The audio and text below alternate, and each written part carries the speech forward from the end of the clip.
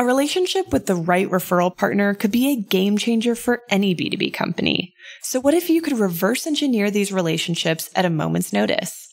Start a podcast, invite potential referral partners to be guests on your show, and grow your referral network faster than ever.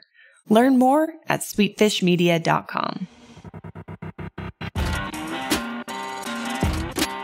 You're listening to B2B Growth, a daily podcast for B2B leaders. We've interviewed names you've probably heard before, like Gary Vaynerchuk and Simon Sinek, but you've probably never heard from the majority of our guests. That's because the bulk of our interviews aren't with professional speakers and authors.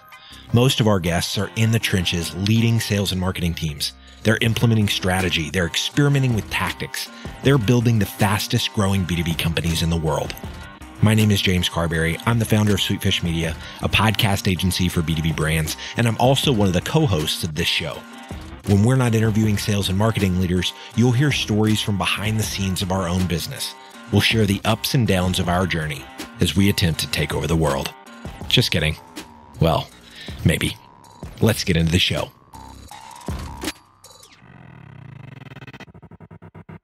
Welcome back to B2B Growth. I am your host for today's episode, Nikki Ivy. I've got here with me today Chris Ronzio, founder and CEO of Trainual. Chris, how are you doing today? I'm great. Thanks for having me, Nikki. Yeah, I'm, I'm super excited. There's so much that we've got to go over. We're going to be talking about how improving your training and onboarding process can be the key uh, differentiator to scaling a successful B2B business. Uh, but before we get to that, I'd love for you to just talk a little bit about what uh, your background is and what you and the folks at Trainual have been up to these days. Awesome. Yeah. So my background started when I was 14. I started my first company. It was a video production company. And we went from shooting weddings and corporate videos and commercials to eventually having an event production business that did events in 50 states around the US with 300 camera operators and three offices. And so training and systems and processes were so crucial to me growing that business when I sold that business, I started consulting, working with other companies, and I really found that training and systems were the key to getting the owner out of the business and the key to getting each employee to maximize their potential in the business. Because if you are stuck doing the thing you're doing today forever, then you're never going to grow. And so I saw training as the catalyst to help people grow. So little by little, these seeds were planted in my head, and the idea for Trainual kind of percolated out of that. And so Trainual is an online tool where you can document all the processes and policies in your business, split them up so you've got clear roles and responsibilities, train people when you hire them, and then keep them up to speed as things change. So it's a, it's one tool to kind of manage the brain of the business. It's so important. I I love it. I mean, as a person who I've been an individual contributor at a few uh, SaaS startups here in Austin, and the ones that that get it right are the ones that have a, a sort of culture of training and sort of make that central to to what they're doing to scale their business. Um, and that kind of leads us into the first big idea that that I want you to talk about. You have this motto: "Do it, document it." Delegate it. Dig into that a little bit for us and let us know how that sort of informs what you're doing over there at Trainual. Yeah, so this is the framework that everything was based on. As I looked back in the consulting work I was doing, I had worked with about 150 companies, all different industries, all different company sizes, but there were some companies that just took off. They would have they would go from 3 people to 300 people, and there were other companies that were just kind of stuck where they were at or maybe they didn't want to grow any bigger than where they were at. So, as I looked at the companies that really scaled, I saw the one commonality was that they followed this sort of formula. And so do it, document it, delegate. It just means that if you can learn to do something consistently, if you get really good at doing it so that it's very repeatable, you're doing it by memory, but at least you're doing it consistently, then the step to getting out of doing that thing is to document it first, to write down the steps clearly so that you can then delegate it or give it to someone else and they can reproduce your result. So it's a real simple formula, but a lot of people mess it up. You know, they try to delegate something before they have clear instructions or clear expectations happens or they try to document it and write it down before it's a repeatable process you know? If you write something down today and it changes tomorrow writing it down feels like a waste of time. So you've got to go through this kind of gradual process of learning to do something really consistently by experimenting until you feel like you're just showing up and doing it over and over and then you document it very clearly so step by step processes which is what our system does and then you can delegate it or hand that off and have an expectation that someone does it right Right. I think that that is so important. Again, just in in experience, the lack of that. What happens at startups, right, is there's so much excitement about whatever the idea is or whatever the problem is that's being solved that folks rarely get past the the do it phase of the do it delegate. They go straight do it and then delegate, and then they've got a bunch of new hires just sort of figuring it out as they go along. And and I think you're right. It it doesn't have to be that way yeah they do it they delegate it then they have to destroy it and go back to you know step one. I think uh, you, you, know it's it's every company when they're starting out they've got to go through this figuring it out phase because no one knows what they're doing day one. You know unless unless you're a franchise or a system like that that's just taken someone else's playbook you have to create your own. So when you're starting out you're not working from a manual. You're being creative, you're innovating, you're testing, you're checking your prices, you're switching around your product, your service, you're pivoting. But then eventually, when you find some success, it's just repeatable. You say, all right, I, I did this yesterday. I'm going to do it again today. I'm going to do it again tomorrow. And as an entrepreneur, when I find myself in that position, I feel like I'm just showing up and doing a job at that point because I'm not inventing, I'm not changing things. And so that's that's when you when you get that feeling, that's when you know that it's time to write it down and hand it off to someone else because you've solved the problem at least for now and it's working. So then you can move on to something else. Exactly. So yeah, so just do it, document it, delegate it. Works on on the level that you're talking about. Also, I'm a huge fan of alliteration. So me too. Me too. Um, um, but you talked about you know folks getting to the point where they feel like you know they're just showing up for a job, and and I think that that's one of the things that especially in startups contributes to turnover and, and folks being in and out of of jobs and, and changing careers. Talk a little bit about how um, this idea of particularly millennials, but certainly any folks in in this in business changing careers and, and the problem that presents from a training and onboarding uh, perspective when it comes to trying to scale something. Well, there's a couple things. So, I mean, from an individual perspective, if you get bored of doing something, it's just because you're bored, not of the company, maybe, but of the role that you have within the company. So, when people are stuck in the same position and they leave a company, often it's time, it's because they feel like they have nowhere to grow they have no there's no you know the company's too small they're not going to get a promotion. They're just sort of stuck at the level they're at. And so they get entranced by some external opportunity of like oh come over here and do this and it's exciting. And and so they switch companies. But as an employer, you want to keep your team motivated and excited and growing because they're always experimenting and trying new things and they're always growing. And the way to empower people to grow is to get them comfortable with letting go of the things that they do today. So as soon as somebody gets really proficient at something, you've got to have that conversation with them to say, you know, I, I'm sure you don't want to do this forever. So what do you want to do next? And we can tr- now you're the best person to train the new person on how to do what you're doing today. So i think companies have to embrace their people and, and help help teach them how to train. So people jumping from job to job though of course is inevitable. So as a company you have to have your good onboarding, good training dialed in so that you can get the next person up to speed as quickly as possible. You know, the ideal situation is that when someone quits or leaves a business and you've got that turnover, that you've got someone that can be up to speed, you know, within a couple days. That, you know, and if you had that, you wouldn't be so upset about the person that's leaving. Like for instance, we had someone that moved to San Francisco, took another job at another company, and we were all happy for her. You know, we're excited that she was leaving. We're sad to see her go as a person, but in terms of what she did for the business, it doesn't feel like she's stealing any of the knowledge of the company because it was all written down you know so the next person can get up to speed really quickly. And so people are going to switch jobs. They're going to go after new opportunities. That's what people do and you have to uh, support that. But it makes it easier to support that if you're giving them the tools to write down what they learn as they learn it. Yes. So much so much yes. What i've seen the places where i've seen that go wrong you know you've got this person who clearly doesn't care as much about the job anymore but they're not going to let this guy go because he kind of holds the keys right he or she kind of holds the keys they know how to do the job and management doesn't feel like starting all over again uh, teaching somebody else how to do this thing uh, mm-hmm. or uh, when i was selling into uh, healthcare technology i would talk to to these these women these nurses a lot of the time and they'd be like just absolutely exhausted. One, the, the one person who was trained and really understood how to do the specific job had left. And now they're like, well, you know, Betsy used to do that, but we mm. don't know the process right. she used. And right. so, so now we're just kind of stuck. And it was just like a nightmare. So yeah. So what you're speaking to, I think is, is super, super important.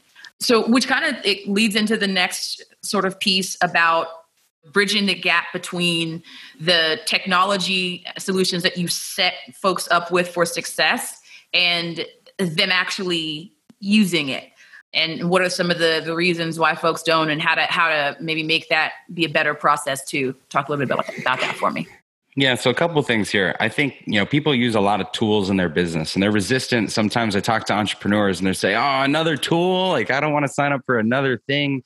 But you've got to appreciate that all the tech tools that are available today are like cobbling together the this superhuman re- robot employee that you never could have had 10 years ago. You know, so you've got to embrace the technology. So in terms of training, first employees might not be uh, using tools in the best way if you're not teaching them and, and signing off that they know how to use it. So it's important to say who who owns this tool in the company, and then have them write the best practices for how to do it, so that instead of everyone trying to figure out for themselves, you've got the best person figuring it out and teaching the other people to get them to the best person's level. You know, so a lot of times a tool is rolled out and everyone just figures it out individually and then their competency level is going to be all different because people are have different levels of tech savviness. So if you make one person the owner and then you get them to write down the instructions and the test or whatever that everyone else has to follow, then you can really have that tech adoption. And then the next thing is there's a difference between doing the work and learning how to do the work. And so we say, you know, doing is different than learning to do. Um, the example I always give is my, you know, I have a four year old that's just learning to ride his bike. And because he's gripping the handle so tightly, you know, he has no idea how the bike works. So he's paying so much attention to what he's doing. And we don't even think about riding a bike, we just do it. Right. So there's things in your business like your CRM or your project management system where you're managing the work, you're doing the work. That's where the work happens. But learning to do the work happens outside of those tools. You've got to teach people how to use the CRM or how to use the project management system because the system doesn't teach you how to use itself. Right. And so that's what the difference between training and doing is. And you've got to get your teams up to speed on here is how to use the tools. Otherwise, you can't expect them to be great at it. Yeah. Yeah. Any any notes or examples on folks you've worked with as far as getting buy-in on that sort of thing? Because I've I've seen what you're talking about, right? Where you know, say a team was used to using one CRM uh, or one one tool for for prospecting or outreach, and then they get you know a new one in place, and there's this sort of stubbornness involved. Some folks love it, some folks don't. And then, you know, I've seen it happen where, you know, management just lets the this if it's one of the senior most people and they don't want to switch, they just let them do their thing. Or oh man, yeah. I remember working with one company, and the whole company switched to to Gmail or G Suite, and mm-hmm. one one stodgy guy is on Outlook, and you know they had to set up the whole servers to route emails, and he wouldn't get meeting invitations, and you know when you let that happen, it just it, it, causes the system to break. You know, everybody should be uniform for a reason. So when I was consulting and working with companies, the way I would go about it was you want to interview everyone about the bottlenecks in the process first. So get people to focus on the inefficiencies, the problems, and don't specifically speak to the CRM. You know, what's the problem with this CRM? Because then somebody who maybe picked that CRM is going to feel defensive. But sure. if you start to talk to what are the problems with communication or handoff or this or that, mm-hmm, mm-hmm. and you get a lot of the team involved, then you can see what the common denominators are. And you can say, oh, it looks like we're wasting a lot of time on this. Does everybody agree? Yeah. And once you get buy in at the problem level, then you can get buy-in at the solution level because you say this is this is a new tool i found. Looks like it checks all the boxes. What do you guys think? And then you get them enrolled in picking the solution. Instead of just saying here's a new tool we're going to use and jamming it down their throats because then the people that feel really attached to the old tool are of course going to butt heads with you yeah, that, and that's exactly how it goes, right? So you got these folks who what we can all agree on in terms of like these sales enablement tools in in uh, this company that I'm thinking of. Uh, we could all agree on the fact that it just wasn't working to try and keep up with you know sending outreach emails just through gmail and then remembering to set ourselves reminders and you know so clearly we need a tool that has sequences cadences so like you said once we got buy-in at the the problem level like this is the part of the process that if we fix is going to make all of our lives easier then the tech adoption just sort of naturally naturally follows. Um, so really really great stuff. And do you have any anything else that i haven't uh, sort of teed you up for that we haven't touched on with respect to, to this topic that you would want um, somebody who's maybe struggling with this or looking to improve uh, that you want to leave them with? I think the hardest thing in business for anyone is delegation because as soon as you get good at something, you take pride in it and you don't want to hand it off. And you think you're going to do it better than the other person. And you know it's going to take you less time to do it than to train someone else to do it. So there's this catch 22 in learning how to be good at delegating because you have to force yourself to do it in order to free up your own time to move on to the next thing. And, and that's where people get stuck. So the one thing I would say is anyone listening, if you haven't practiced delegation, if you don't have employees of your own, you should definitely look into getting maybe a virtual assistant or getting some tools, some tech software that can automate some of the things you're doing. When I was interviewing people in my in my consulting work, um, I used to ask people, you know, if you had a, a secret personal assistant that like worked in a cave under your desk and no one knew they were there what are the things that you would have them do? And and it's a great question because it gets people past the well you know my company's not going to hire an assistant for me or whatever or and it and it's also a different way than asking them what stuff don't you like doing? Because people don't want to confess that what they don't like doing for a little bit of fear that they might be replaced or they might not be a fit for the role. But if you mm-hmm. ask people, you know, if you had a secret employee like living under your desk or at your house and you could just kind of feed them work so that you could be on vacation more, people will come up with like, oh, this thing takes a lot of time and I'm always filing these reports and I'm always doing this.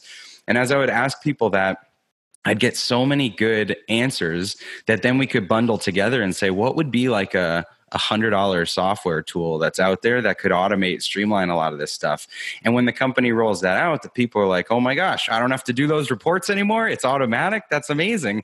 And then they're not concerned for their job they're just now have the, the capacity to move on to to what's next so so i would say practice delegation ask yourself those questions or you know hire a, a virtual assistant of your own and start to get good at it because that will be the thing that helps the most people grow Perfect. I'm I'm I'm in. I'm on board.